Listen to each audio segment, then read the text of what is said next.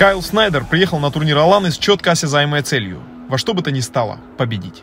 Этот настрой прослеживался в каждом его жесте, в каждом взгляде – Иначе почему обычно разговорчивый американец на сей раз как будто в рот воды набрал и на многократные попытки вашего корреспондента выудить хоть слово отвечал отказом? Вот и на финал он вышел, вернее выскочил, как разжавшаяся пружина, с солидным запасом кинетики, который тут же начал методично реализовывать. Поэтому его триумф виделся мне хоть и нежелательным исходом, но оставлявшим надежду на итоговое интервью. Каково же было мое удивление, когда он отстраненно пробежал мимо и засобирался в аэропорт, а его команда, и в частности Джейк Варнер, то и дело чинили мне препятствия на пути к заслуженному вью. И все-таки, пусть и с пятой попытки, я до него добрался. Кайл, схватка была несложной? Нет, как раз таки схватка была крайне жесткой, и соперник был достойный. Но все-таки тебе не хватало Садулаева. Ждешь реванша с ним? Да, конечно, но это может случиться лишь на Олимпийских играх, на которые мне еще нужно попасть, пройдя сложный отбор в национальную команду.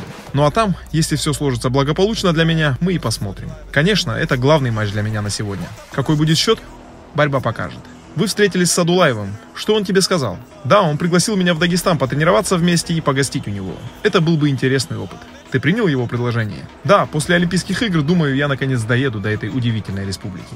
Где тебя будут ждать горы, море и вкуснейший аварский хинкал. Никогда не пробовал, но мне уже интересно. Вячеслав Абдусаламов, Жест ТВ.